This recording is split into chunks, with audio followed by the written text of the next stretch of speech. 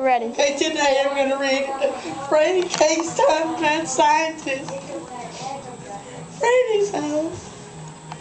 The Stein family lived in a pretty big house with lovely purple shutters and a, the end of the foggy street. Everything about the house was bright and cheery. Everything that is except the bedroom behind the tiny brick upstairs window. This was Brady's bedroom! Oh. but she fucking loved it! I'm sorry. More than any place in the world!